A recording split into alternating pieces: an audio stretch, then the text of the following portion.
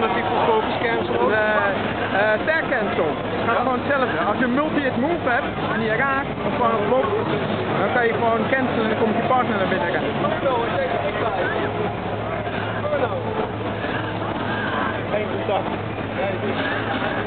Got, got, some, got some more Jinx versus Inferno here.